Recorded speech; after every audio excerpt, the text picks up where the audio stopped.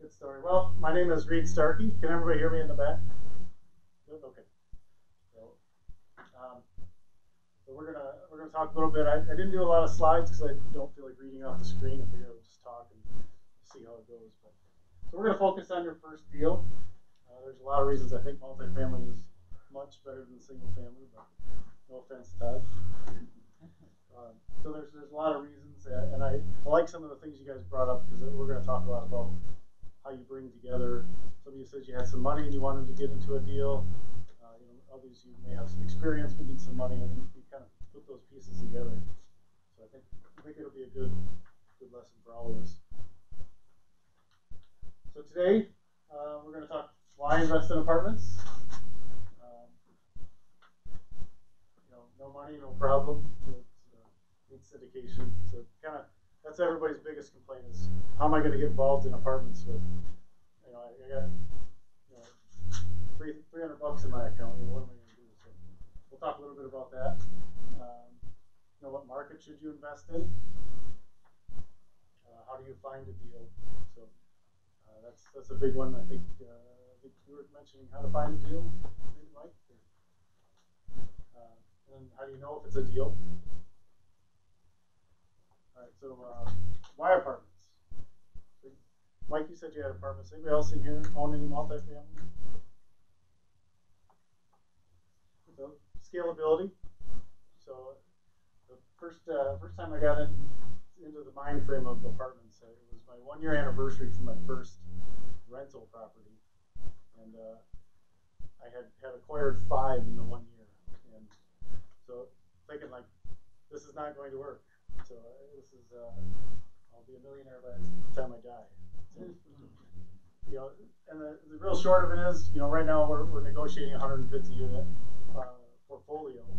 So in one closing, it'll be 150 units. So, um, it's a lot harder to get that 150 units, but it's definitely a lot easier than buying a house, refinance, or you know, rehabbing it, refinancing it, or the BRRRR process, uh, most of you refer to it as. So non-recourse. Now that's my favorite part.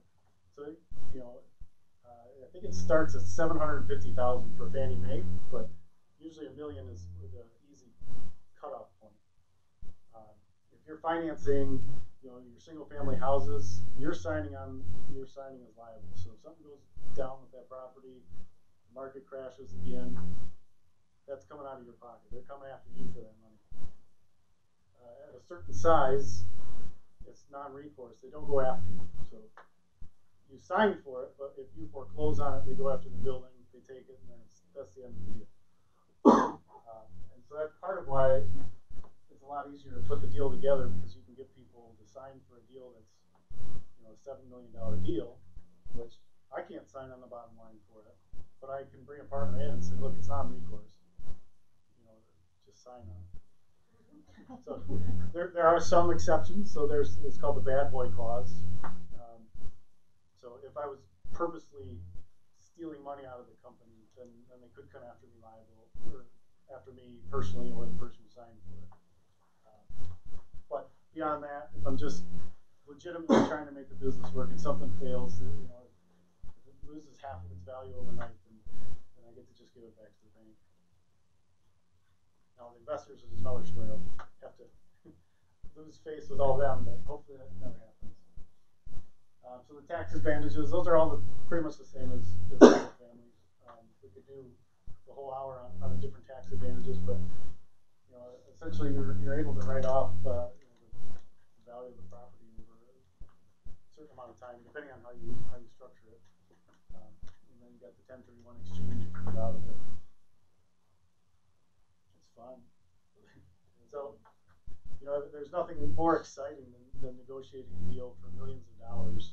You know, it's, um, you know, doing a hundred thousand dollar house is fun, but it gets to a point where you go to a closing and it's it's a more of a drag than, anything else. And maybe multifamily will get there somewhere with me, but there's still it's still a feeling of hooking a large multifamily property.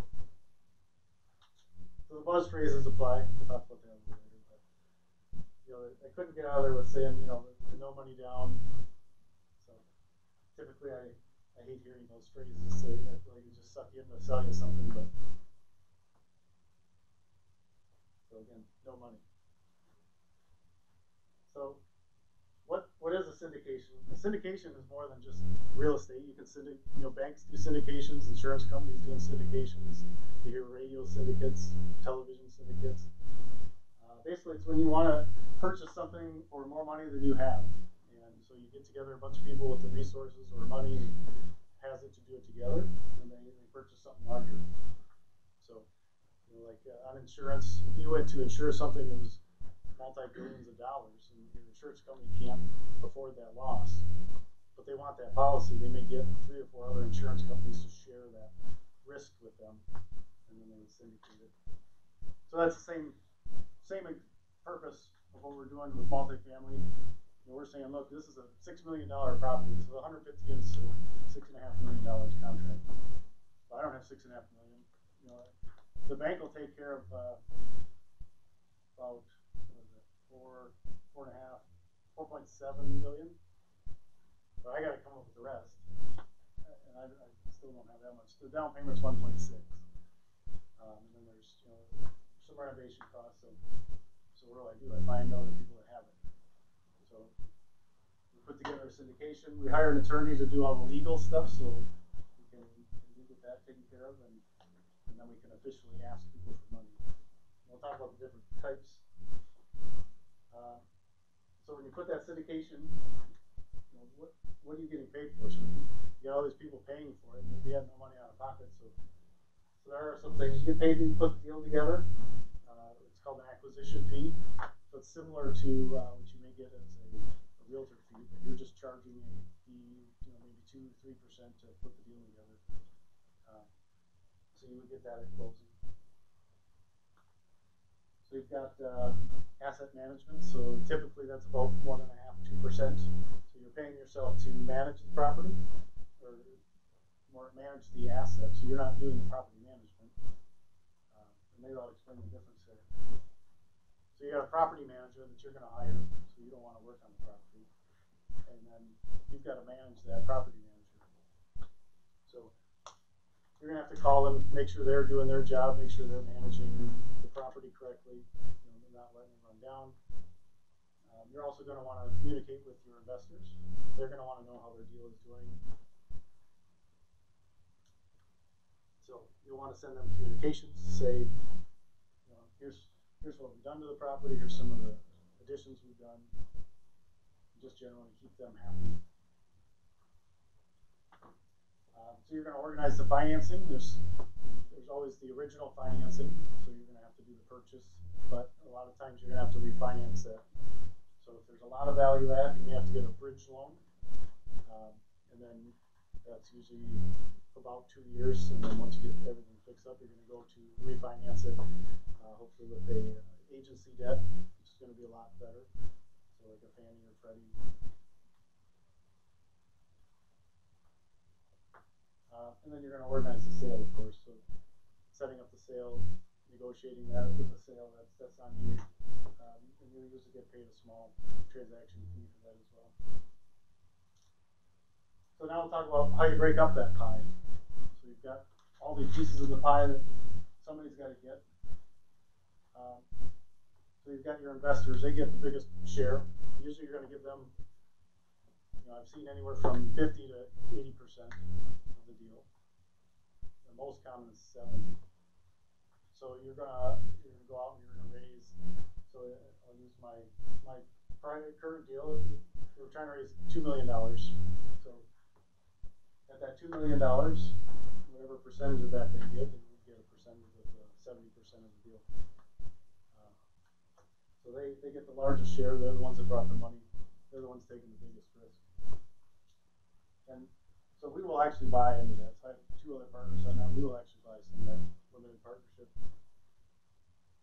Um, and the sponsor, that's the general partnership. So that's typically you're gonna have those two parts. You're gonna have the, the general and the limited partner. Um, so I would be the general partner with my two partners. Um, so that's the main part. But then you may not have what it takes to get the financing. So you may need to have somebody sign on, called a key principal. Um, so then you may bring on, uh, you know, again, key principals. So what they're going to need is uh, at least 125% net worth of the loan value. So if you're borrowing a million dollars, you're going to need 1.25 million in net worth. Um, and then uh, usually lenders are different, but usually about a year's worth of payments in liquid cash. So um, there's no hard, steadfast rule, but we give them 10% of the general partnership. If we were doing that, we're not doing it on this particular deal, but um, so that's how that would work. And then that's before I go too much further. All this is negotiable, so there's no there's no rules, you know, how you have to structure it.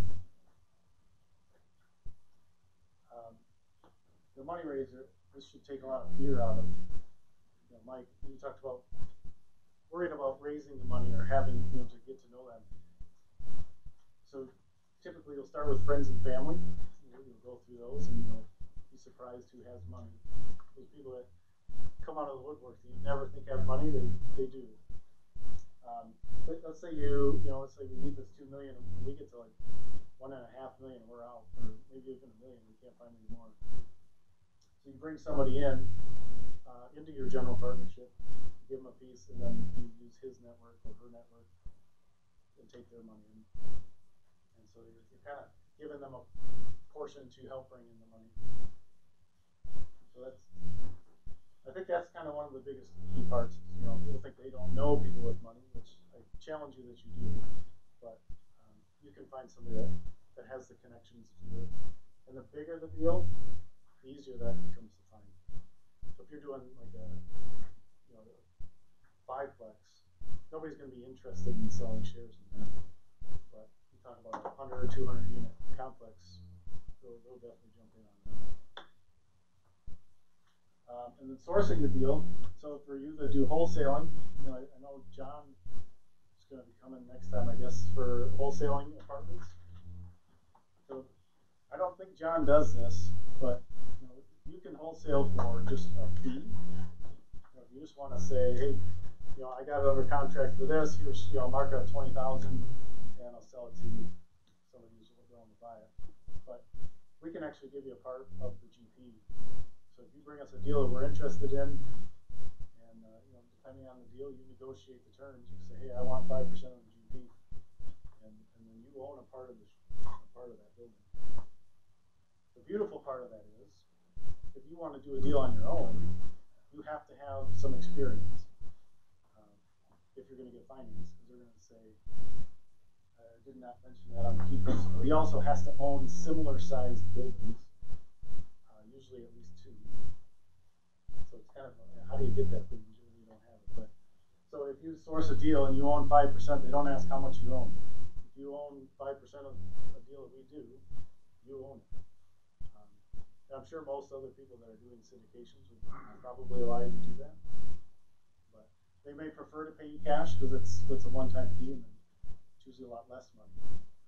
This, you know, if I give you a portion of the company and pay it for eight years, it will be more money.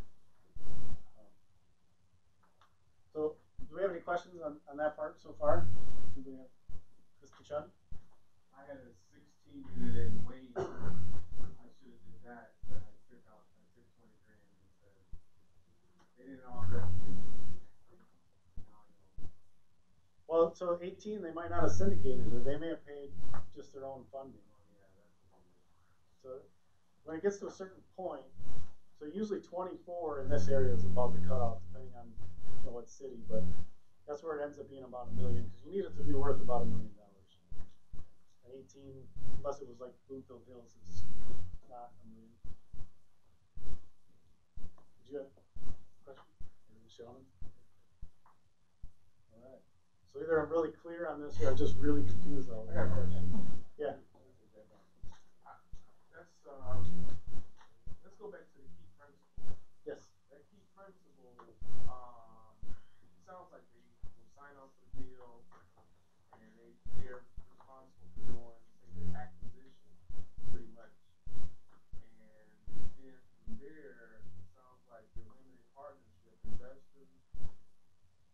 help me out with that, that strategy principle. They come in for the finance portion, or are they the ones that are seeing to financial institution, hey, I'm pretty worthy, give it to me. But, you know, the other hand, you're raising money for a deal. So is this a rehab situation? It could fit in all of them. So I think you're asking, what is the responsibility the key principal? Is that what you're asking? Yeah, So it, really nothing. I mean, really his, his, uh, his net worth is all, all we need him for. So he's not involved. I mean, he can be if you want him to be, but really he's got a sign on the, on the dotted line. That's it. And he's done. He just collects a check for the next, for as long as you own it. And then you have your limited partnership investor. Yep. So there sounds like there's something I'm missing here as far as finance. And you also have the, well, I understand the general partnership. That sounds like a relationship between the key principal and the, the general partnership. Um, however, with your limited partnership investors, you're raising money through syndication for them, correct? For them to come into the deal. Yeah.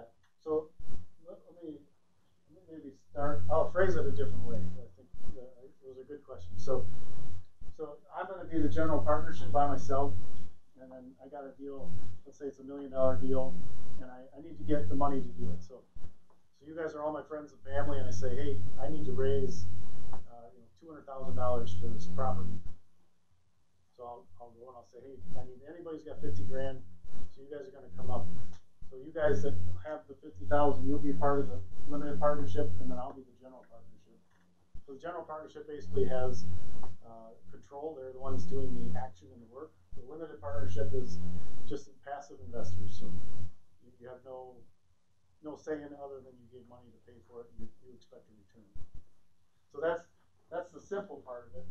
But if I need somebody to sign for it, then I have to bring in somebody. So let's say you've got the, the massive net worth. I'll, I'll go up to um, what was your name? What was it? Pivot. Emmett? Yeah, so I'll, I'll say, hey, Emmett, I know you got a bunch of money. I need you to sign for this. All you gotta do is go into the, the lender. Go ahead. Oh, uh, all you gotta do is go to the lender and get us secured. I've got, all these people gave me the two hundred thousand I need. You know, you know, so I talked to Letitia. So I'll, go to Letitia, I'll say, hey, can I get the loan? She'll say, yes, but you don't qualify. I need somebody that's got, you know, a bunch of money sitting in the bank. So we'll, we'll go to Emmett. He's got the money. Now we paid you a part. I gave you a part of my general partnership as incentive to sign for that. And that fifty thousand dollars that you raised is down payment, is that correct? Yes. So on like a, on a typical house, if you, if you need, you know, a hundred thousand dollar house, just same numbers, different way to look at it.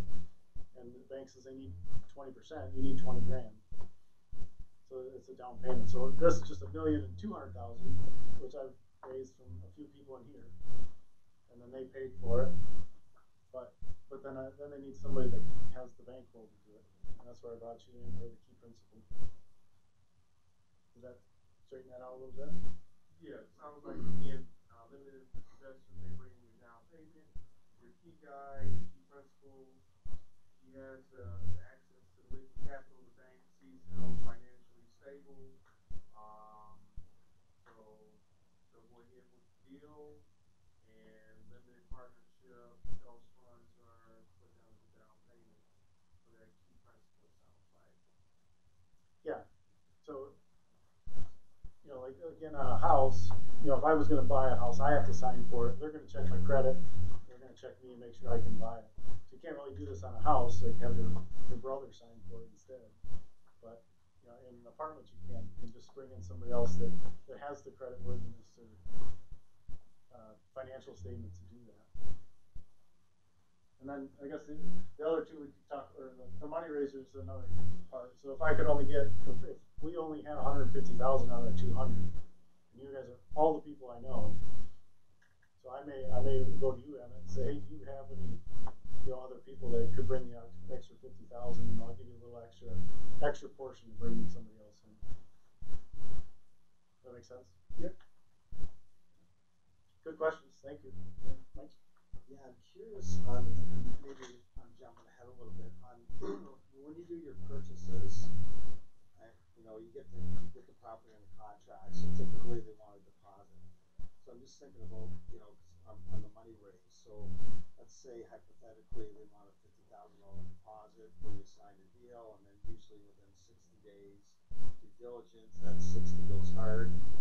And then you've got another thirty to close, which is what a typically ninety day window, so, so how do you handle that, that, let's say hypothetically fifty K? Um, like where does that money come from? And then when do you make the decision if that's gonna go hard or not? So that's a great question. So the decision of when it goes hard, that's written in your purchase agreement. Um, so you want, as you're buying, you want that to be as far out as possible and as many outs as possible. So you're gonna have to use this, you know, lending clause, so if you can't get it financed within a certain time, you can get out, get your money back. You're you're gonna try and get as many clauses in there as possible, and the seller's gonna try and pull as many out. Um, cause they wanna get paid for you wasting time if it doesn't close. Um, yeah, I did not put that part on here. I'm glad you brought that up. So it's called risk capital. Um, so that's another part of the GP. So if I didn't have the, the earnest money, um, I may go to somebody and say, I'll give you a portion of the GP, but I'm going to probably need 80 to 100,000 in, in earnest money. On that deal, probably much less, probably closer to 50,000. So typically it's about 1% EMD. Um, sometimes they want more, especially if you're new, because they, they want to make sure you're serious. But yeah, that's, a good point. So you, you use the investor's money. Yeah, it would. It's, a different investor because the investors are on the limited partner; they're passive, but you're bringing in somebody as, as a on, on the general partnership side. So you're still going to raise the two hundred thousand for the uh, for the earnest money, or not for the for the deposit, but you're going to need risk capital. So you're going to pay your attorney. It's usually ten, fifteen thousand dollars to write up the syndication paperwork, um, which which disappears. So that's that's a big risk on on the person doing the risk capital. That's probably the hardest part to sell. I, I've not yet tried to sell that portion of it, but I know that I would have a hard time giving somebody that much cash to risk. You know, like, Yeah, cause what kind of fees would they want for something like that, you know? well, you give them a portion of the, of the property, so they would they would be part owner. And in theory, they get it all back, so they should get everything back it closes. But they gotta they gotta know who you are. So that's probably one of the trickiest parts. I would say if you if you really have no money, it's getting that part. Um, unfortunately, I don't have a lot of experience on that. The EMD I've, I've had enough to cover that stuff, so that's Right. uh, a little bit different situation, but you could find somebody to do it. Uh, you know, on this, on the current deal I have, I have two other partners that have much more experience than I do. And, uh, you know, they could do as much as they wanted to by themselves, and then they would just get a larger portion of the deal. Yeah, cause the tricky part is once somebody goes hard, then you still got another thirty days to close, right? So Yeah. what happens if something falls apart, and all of a sudden that investor money goes down to, down to two? Can. So, yeah. Uh, they had, um, they had eighty thousand dollars hard that they didn't close on just before we partnered on this one. They did end up getting it back because it was because the seller was dishonest. Uh, they found out some things that they had just lied to him. Probably cost them twenty legal fees. Oh yeah, I mean he probably still lost. I think he said like fourteen to twenty, somewhere in that range. But, um, but yeah, he, he told the guy he goes, "You're gonna give me the hard money back, or, or we'll you for it." And you know the, the funny thing was the guy's like, "Oh, it's just part of the business." Uh, no, it's it's not. I mean, it may have happened to you, but you know we're not trying to screw you everybody over. But, so yeah, And then within the investor group, any of the people from sponsor down can become investors also, or you're knocking on the doors for your investors, you may find your money raiser. Yeah. Um, so of course, the um, so you're going to want to start networking immediately for like the money raisers and things like that. But um, so we we are putting in our own money. We'll probably put a good portion of our own money into this deal, depending on how much we raise and where our situations are. But so that way we'll own the general partnership and part of the partnership. And everybody's welcome to do that. Obviously, we, we wanna fill up that, that money as quick as possible. Um, And then the money raiser, those are a lot easier to find than you think. You know, somebody that, uh, a friend of mine that we met, he, he worked, uh, at Walmart, was a pretty high up at Walmart. So, I mean, everybody he worked with makes, you know, well over half a million dollars a year. Um, So he knows a lot of people with deep pockets that can, to bring in that money. So he's a good backup. If I can't raise it all, we can bring in. Good questions. Hey, Mark? Cool. Oh, I did put this cap. There you go. There we go. All right, so now what about the SEC? So this is what made me nervous for the longest time getting into this because there's there is no black and white rules for SEC regulations. Unfortunately, you talk to three attorneys, you're going to get three different answers on what you can do, can't do. Um, so again, everything I say is a lie, but there's general guidelines how that works. So it's Regulation D. So typically, if you sell a security, you are going to have to follow a lot of very strict reporting rules um, and very expensive reporting rules, like the big companies like Coca-Cola and Apple all have to do. But for the little guys like us, me at least, we, uh, you know, we don't we don't have multi-billion-dollar companies to do that. So we have two exceptions that, that the SEC has given us. There's 506B. I'll talk about the second one in a second. So 506B is for your friends and family. That's that's what I do, and probably most of you I would suggest do. Um, so the reason it's friends and family is you can have 35 non-accredited investors. So if your mother, your father, you know, maybe they got an extra 50 grand in the bank, but they're not, uh, they accredited investor, um, then, then you can get money from them. So I think personally that's going to be the easiest. Everybody I know is doing that. Uh, there are some big players that do the C, but we'll talk about that in a minute. Um, so they do have to be sophisticated. Uh, sophisticated basically means they are competent enough to know what they're doing. So basically, you know, they don't want you to take advantage of somebody that doesn't understand why they're giving you their money. Uh, so that would be taking advantage of somebody that maybe just not competent enough to quite understand what they're doing.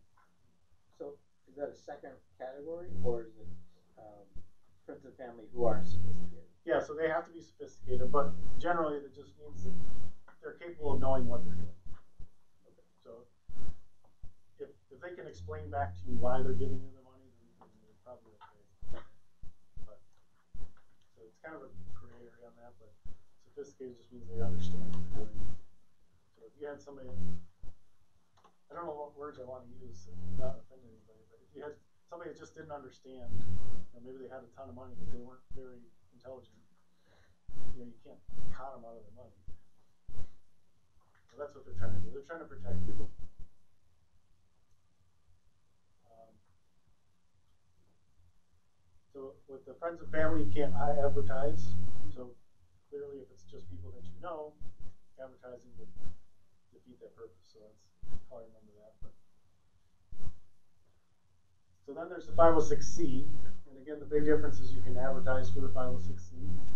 Um, you can only use accredited investors, uh, and you can usually get them uh, verified through a third party that they are accredited. So, uh, Frank, you probably know accredited that term, but. Uh, You need a mix of the both. what's that? You need a mix both. No. So if you advertise, then you're then you're out. So you'd be in the 506c. But so what they're saying is on the friends and family, you need to know them and have an established relationship. Now there's another gray area. What's an established relationship? Um, so there's a few gray rules on that, but um,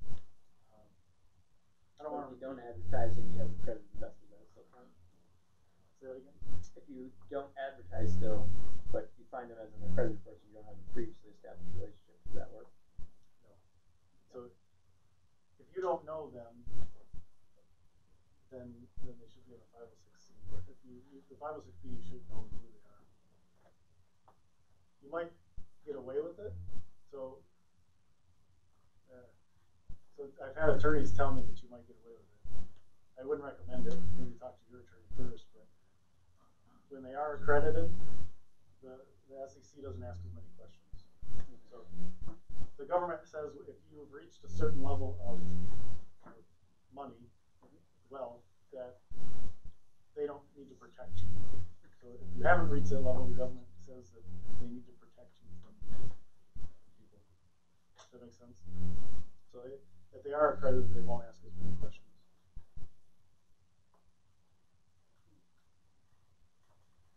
Uh, I just got a question. With them being accredited, say you have like an uncle that, that is also happens to be an accredited, an accredited investor. If he got accredited, would disqualify it from Title Six B because Title Six B says non-accredited? Uh, so you can have unlimited accredited and up to thirty-five non-accredited, Oh, okay. but you have to have a relationship established. Good question. What were you saying? You can't mix them. As long as you know everybody that's involved, it's a five oh six B and you didn't advertise. It doesn't matter if they're accredited or not. The thing is, you can, if, if you, of the bucket of people you have, up to thirty-five of them can be non-accredited, max. You could have five hundred, but only thirty-five can be non-accredited, but if you know the rest of them personally, and they're all loaded, you can use them. You just, you already knew them, you didn't advertise. But if you work it through whatever, the or you trying for? The money General partnership or the money raiser, that can be, so you can get thirty-five for you, thirty-five for them, thirty-five for, you scale it out that way. No, so you still have a limit of thirty-five, but you don't wanna structure it too much, you don't really wanna have thirty-five investors anyway. So if we're raising a million dollars, you know, you usually wanna aim for twenty. So depending on how much you wanna raise, you wanna get whatever twenty investors would be. Um, you know, cause if you've got, let's say two hundred investors that you've gotta write and explain to how the department's doing every month, you know, many of those are gonna have a lot of questions and, and just be overwhelming to answer all of them. So if you got twenty, then you could probably handle all those questions in an hour. Well, the pie's too small at that point anyway. You know, two hundred people are taking a cut of seventy percent versus thirty people are taking a cut of seventy percent, that'd be a pretty hard sell. Yeah, I mean, yeah, and, you know, another way to look at it too, is if you bring in somebody, let's say you're bringing people in at ten grand, the, the likelihood that you're gonna have somebody invest ten grand that, that isn't really attached to that money is small. And, you know, I don't wanna take somebody's money that's gonna put them in a spot where it, it hurts them, because that money's not liquid until the deal's done. So they're out, that, that money's gone for eight years, five to eight years, however long you hold it. It's gone. I mean, they can't get it back. They're getting paid quarterly, but, you know, if they have a, a medical situation and they need their money back, it doesn't work. You know, and somebody has, they can give you ten grand, maybe that's all that they had in their bank. They're gonna be calling you every month, like every week, you know, what's going on? I saw somebody moving out, you know, like, what's going on? You know, but if you got a guy with two, three, four hundred thousand in the bank and he gives you a hundred grand, I mean, he's worried, but he's probably not, probably not calling you every day. So, there's no law against that, it's just personal, what, what you wanna look for. Um, so, the, the accredited, you know, I don't know if you care about the actual terms, but according to the government, this is what they consider you smart enough where they don't have to watch it. Um, so a net worth of one million dollars, uh, excluding your primary residence. Uh, I think if you're married, it's like one, it's higher, but not much. Or have income of at least two hundred thousand each year for the last two years, or three hundred if combined with spouse.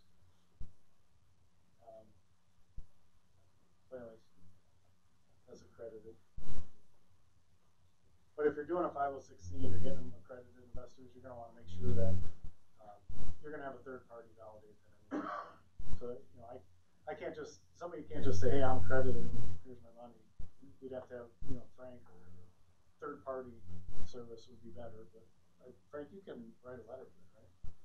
Yeah, I mean, for, for a client, but truly, what, what I see is there's still some sometimes a relationship where somebody knows that person. I do see that step left over sometimes, but, uh, truly that it would be in best interest to validate that, what they qualify, because just signing and getting a letter even from CPA or some advisor, I would think cover yourself, because if you didn't do the proper due diligence, it could always come back to you, it's only gonna come back to you if, if the deal goes south, if it's really, if it's a good deal, no one will ever know, but people do skirt the line, I think, sometimes on that, and what qualifies as an accredited investor, getting that true statement, you know, when it goes south, people wanna say something so you're getting into securities, that's where covering yourself. Yeah, that's, that's a good point, because I hear a lot of people who do apartments illegally. You know, and they're like, oh, I've been doing this, or I do that. It, it's never a problem until you lose money. So, you know, uh, the PPM is a really long document that says this is a risky endeavor. You can and could lose all of your money, yada, yada, yada, and all the risks. And you're signing that saying, yes, I understand what I'm getting into. Um, if you don't do it correctly, and then you lose money, then they can go to the SEC and then you're in trouble. I mean, I've seen C deals that key office people that I know are not accredited investors, just through knowing them, are in those deals, and it's just, or other situations, but those all work out, to nobody ever cares, but if it didn't, that's when people can start running foul real quick.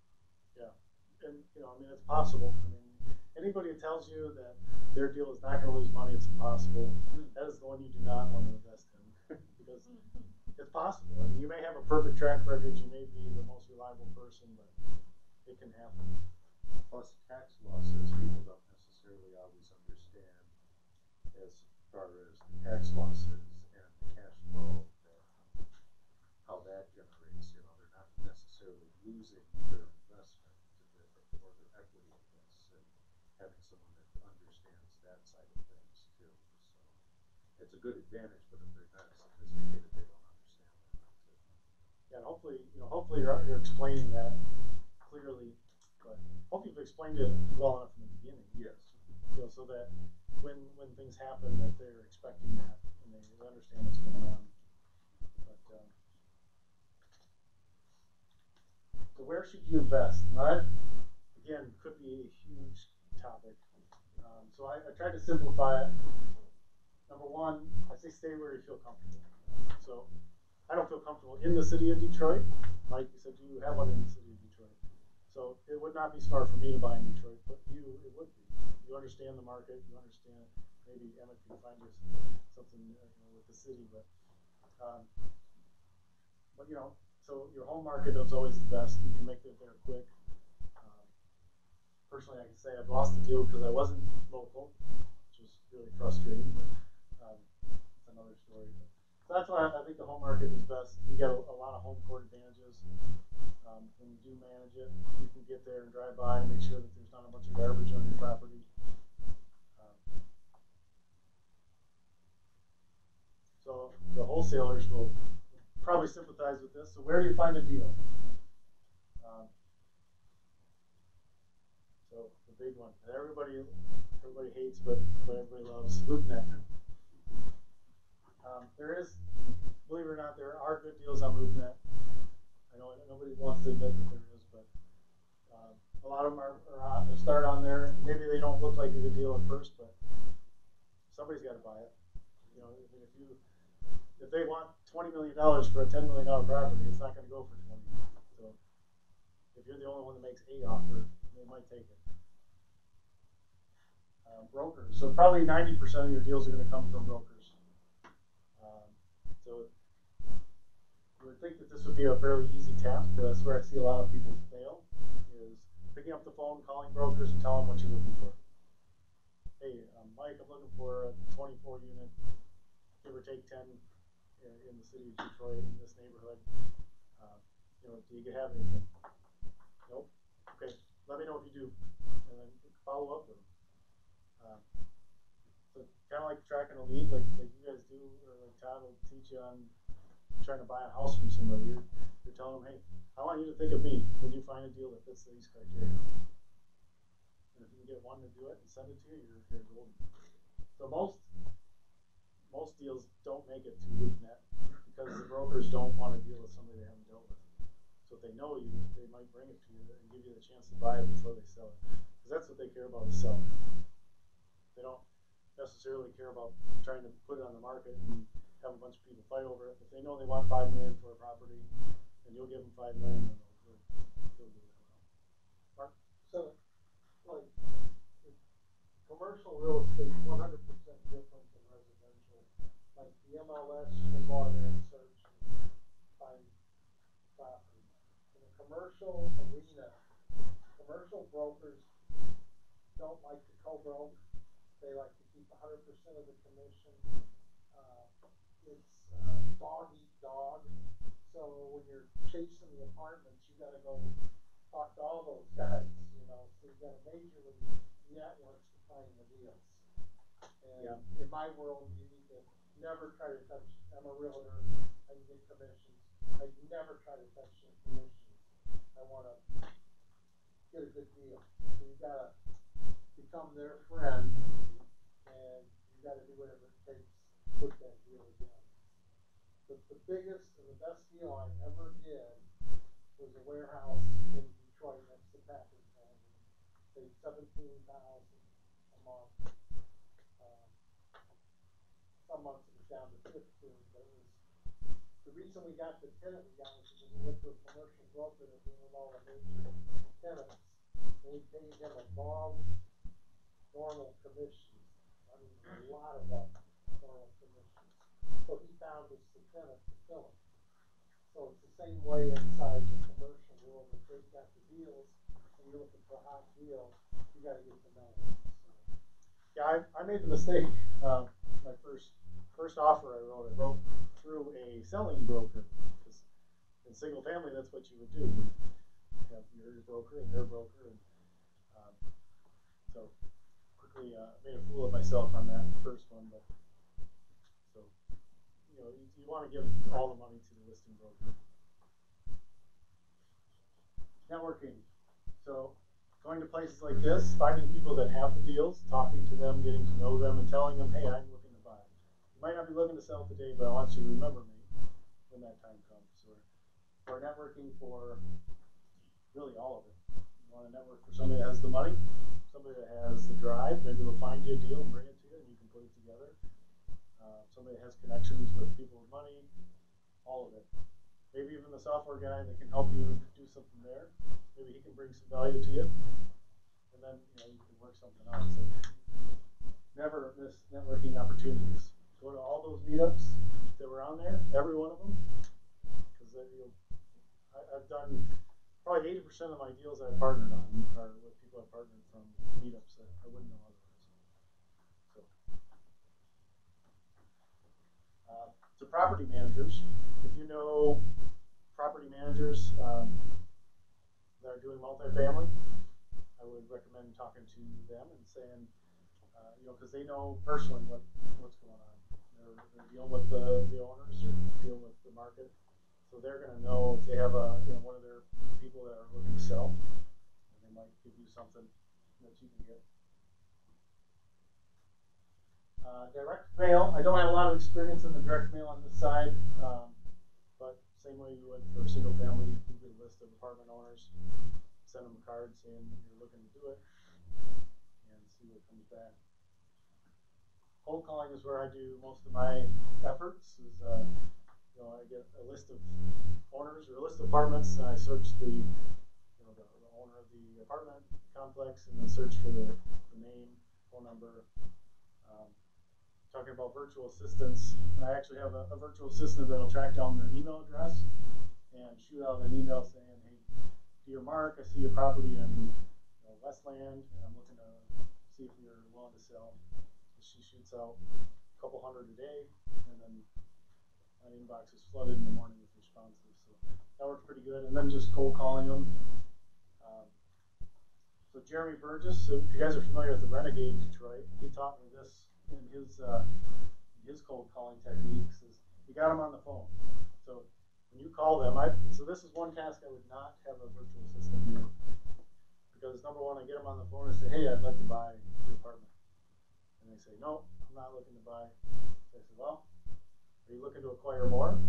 And if you are, would you be interested in looking at some deals that I get and kind of send them your way? So now I got contact with somebody making money for it, or maybe a key principal. Um, and then, you know, lately I've been asking them if they want to do a podcast. And then, uh, you know, if they, if they really sound like somebody I want to meet, you know, maybe take them out to lunch or something. But, um, so that's deal that you look at that you don't particularly like for whatever reason, you can always run it by them or email it to them, right? I got, a- yeah, I have a whole list of people I've talked to. You know, if, if a couple of them are interested, then that's fine. I do got a whole bunch that we can send them out to. So, yeah, you know, in fact, the, the deal that I'm negotiating currently, the, the seller, we met from cold calling, and the two partners that I have, I met through cold calling. So, you know, you know, cold calling is totally different on apartments than it is single family. So, Todd, I mean, you've done a lot of cold calling. You get a lot of, why are you talking to me? Why are you calling me? Or how'd you get my number? And a lot of negativity. Lots of cuss words come back at you. Um, in, in apartments, I mean, I really haven't had any that really were negative. I mean, uh, you know, the partners that I have on this deal, I mean, his words were, "Hey, you know, that's awesome. That's how I got started. Was cold calling and doing this. You know, it's exciting. Whatever you need, let me know, and I'll help you out." Because they know they're all investors. You know, in a home, you're calling somebody that has probably mismanaged their funds in some way. That's how you got the number. And uh, but apartments, you're, you're calling in another investor who knows exactly why you're calling them. He knows that there's resources to get his number, and and they get it, so they're okay with it. Um, so I don't know. That's that's what I have. I don't know. Anybody have any other ideas for that, Todd? Any other things that I'm missing? No, I like that, that was a good technique, Yeah, I, I shouldn't share it, but the cold calling is is, is awesome. I, mean, I love it. So, um, one thing I, I haven't tried yet to add it on there is because I'm going to start with asking them on the podcast first Yeah, I think that's good. because I've been getting uh, a lot of people that think I'm a broker, and I have to really clarify that I'm not trying to list the property. I want to buy it myself. Um, and I think if I start off with the podcast, I might change the, the mood. So, yeah, I'll, I'll follow up with the guys and let you know how that went. So I'm just curious on, um, you mentioned you, you call on apartment owners, so how do you get that list then? Do you go to public records, how do you, and then how do you find these people? So um, I got the initial list through CoStar, um, which says uh, I wouldn't recommend paying for that because it, it's very inaccurate. When you talk to them, they say we got the numbers of almost everybody, blah blah blah. They do not. So, um, but it is a complete list of all the apartments, you know, and then um, so I have some resources that I don't know how I would get if I didn't have MLS resource uh, access, but um, on Michigan website. It's a it's a Michigan.gov website. I don't know the address to tell you. I just have it bookmarked, but uh, you can go and look up the uh, an entity and, and look it up. You can see who the yeah Lara. Lars, You just Google Right. Business Entity Search, they'll come up. So you go to PRD, public records, find out if it's an LLC or whatever. then you go to Lara, and then you find out. Yeah, it's the company. And then, um, so my, my virtual assistant uses My Life, um, which is like super cheap. I don't know, like twenty bucks a year or something. It was, it was pretty cheap. Um, and then you can type in their name, and it'll give you. It's not very reliable on phone numbers, but it's very reliable on emails. So I have her send all of these emails out when these come by, and then uh, anytime I can get a phone number, sometimes CoStar has phone numbers, or My Life will have it. We'll use those. Did you have a question back there? Yeah, is that my life with an M? Yeah, like like M Y L I F E. Thanks. Yep. I don't remember the price, but it's, it's really cheap, so I recommend it even if you're doing single family stuff. It's really cheap. But um, so public records, then do look that up in your My Life, and then there's some other methods of, of looking up phone numbers that, that I haven't had to get too deep into. I, I, the list so big, I haven't got to the point of exhausting those resources, but um, there's lots of skip trace websites out there, which Todd's probably much more familiar with than I am. Um, How do you find reaching out to email versus call? um, A little bit of both. So the email is much more quantity because I'm paying somebody else to do it. So my, my you know one or two hours a day of calling that, that reaches like three people. you know, because uh, you know the the quantity is just not as much. You know, when I can pay somebody for eight hours, it's just and most of it's automated through Podio. Somebody mentioned they're using Podio, and it just ships them all out. So that's uh, so the quantity responses is much more on email because I'm not physically doing it. You could do a video email or a video texting and stuff like that. Maybe try that, you know, That's a good idea.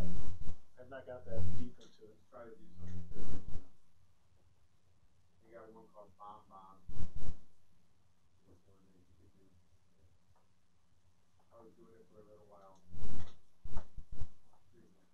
Did you have good luck with it? I didn't do it consistently, so was just too many things, but maybe one day. Fair enough. Yeah, on the email, there, I have gotten some negative responses on emails. And, you know, like, it'll be like, yeah, I'll sell it to you for eighty thousand dollars a door. In an area that's selling for forty thousand a door. Um, It's okay, I don't, me. Um, so what, what is the deal? Uh, you know, what, uh, what will you do with the deals? What returns do you need? So, what you want to know is before before you get into the deal, you want to know, you know what um, what you're going to do with deal. You're going to hold it forever. You're going to sell it in five to ten years. Um, you know, you're going to rehab it real fast and re, or, uh, refinance it. You know, how, what is your exit plan of it? Typically, a syndication is going to be a sell because that investor wants their money back. So if you are doing a syndication, um, you can can refinance them, buy them. Although I haven't actually seen a deal that was good enough to refinance all the money back. I'm sure they exist, but I haven't found any. Um, or you can sell um, at the end of whatever year and pay them back and move on to the next deal. Um, what returns do you need? Specifically, what returns do your investors need? So friends and family might be a little lower, but look at what returns that they are telling you that they need, and that could be different for anybody. Uh, and then they're going to find a deal that, that hits the returns for them. Uh, invest in a deal analyzer. There is hundreds of them out there. Uh, so I, I don't know that it matters so much which one you use, but so I differ from a lot of people. A lot of people will do the, you know, take the NOI, multiply it by the cap, and that's what you're going to offer. But I disagree with that, when you do a deal analyzer, you'll understand why cap rates are really just kind of a, a guide. Um, because you're, you know, if you look at a, a building that's netting zero dollars, they're not going to give it to you. It has value. So, so cap rate doesn't work, and, and you know, we're buying underperforming buildings. So if you did a cap rate, they would probably laugh you right out of it. Yes. Can you describe cap rate? Yes. So a cap rate is just a, uh, a way to determine uh, the value uh, of an apartment based on the returns it's getting. Um, so if you're if you want an eight percent return, that would be an eight cap. So I don't know how to write the math right offhand without looking at it, but it'd be yeah, just take to figure the value. If it's an eight cap, is a hundred thousand. You would divide it by you know eight percent, and that's going to be the, the value you buy it at. Um, Do you recommend any deal analyzers? Or is it just one for the knock over there? Um, I personally use Michael Blank's, which is 129 bucks last time I looked. Could be more, could be less. I don't get anything for recommending that, but um, that's that's pretty good. Um, I actually kind of like Dave Toupin's. He's a local guy, but his is pretty pretty nice too. I have no idea what he sells this for, but Dave Toupin, uh, I believe it's T O U P I N. He's actually he actually owns some stuff here locally, and recently just moved out of town. But I think he has uh, a big apartment in Livonia. but pretty sharp kid. I say kid because I think he's like twenty. But, uh, so yeah, I, I recommend the deal analyzer. I think um, I really just don't think Mark, you can maybe will tell me differently, but I, I really don't think you can really get a fair offer price without really digging into everything and what it really is. Because a lot of those numbers for the NOI are going to change, net operating income. You know, that like their taxes is going to be different for you, so that's going to be more. Um, you know, hopefully you can bring the rent up. You know, you're going to have a value add, which is going to change your returns. Yes. Uh, typically, what do you see, what type of returns do your, uh, investor partners wanna receive and what type of return are you looking for?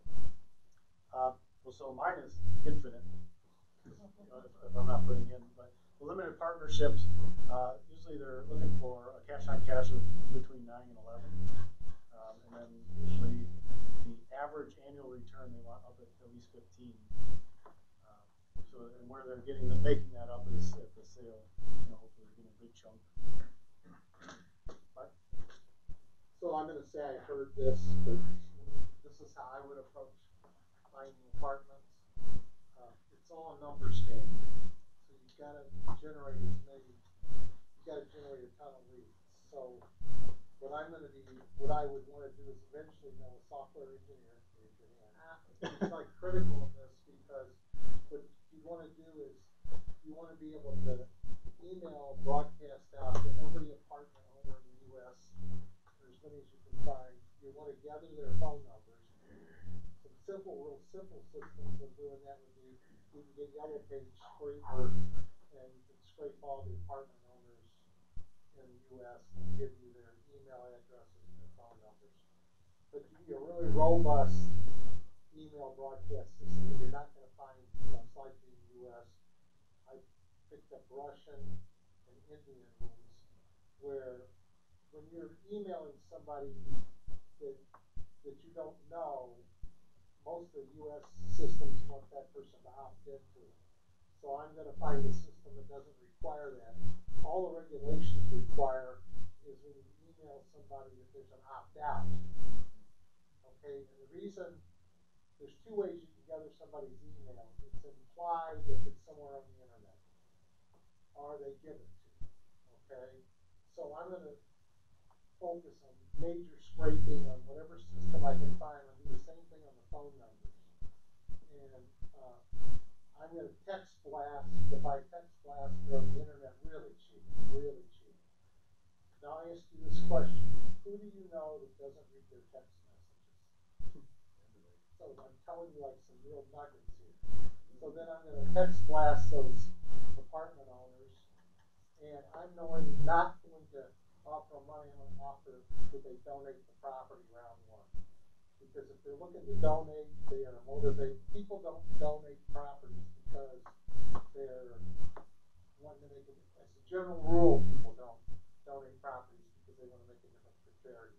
They donate properties because they don't want it. And you're spelling out all the tax benefits to a property owner, if they're a corporation, they're profitable, they get ten percent of their earnings and carry it forward up to five years. And apply it if they're an individual person, thirty percent off their adjusted gross income and carry it forward. So you're starting to hit them with where it counts. And now, on the second round, then I'll say, I'm a cash buyer. So I'm gonna approach it a second time. But all I wanna do is just generate as many leads as I can coming in. Does that make sense to everybody? Yeah. So, you're gonna need to know people that you that kind of stuff. It's out there. Just start.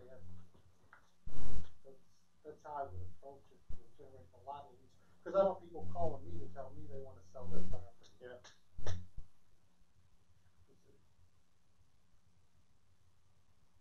Cause all, all we're doing is a numbers game. Then I plug in all those crazy commercial brokers into the same thing because they don't talk to the other brokers. I, would text Les and those guys and tell them you're willing to pay full commission plus a bonus, and you're really, you know, wanna meet them, and you're a serious buyer. So now you've got them calling you, big difference. Yeah, that's good, advice. So, so when you're talking to, to buyers or brokers are gonna know what to give you, but if you're talking to a seller directly, um, there's two key things you wanna ask for if you can get anything from them. Sometimes they're gonna be hesitant to give you stuff. But you want a T twelve and a rent roll. Um, and those two items you'll plug into your deal analyzer, whichever one you're using, and, um, you know, it should spit out a decent number, uh, about what you wanna pay for that place. Uh, so things to consider, you know, you want value add, um, so there's a couple ways you can do that, you can raise the rents, and you can lower the expenses, and that's how you're gonna add value. That's why you're willing to pay a little bit more than that typical cap rate, cause you're gonna add that value in, um, and hopefully get your, your money that way. Um, when you're syndicating, really, yeah, from my experience, you need a, a value add because those you're splitting the pie with a lot of people, so you're going to need to be able to pay all those people and still make profit on it. Um, so you want to look at their, their net operating income. We talked a little bit about that. Know, both lowering the expenses or raising the rent's going to change that.